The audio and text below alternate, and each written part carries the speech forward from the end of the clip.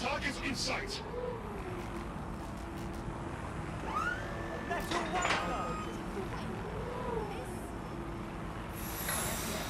Humans must comply with Albion.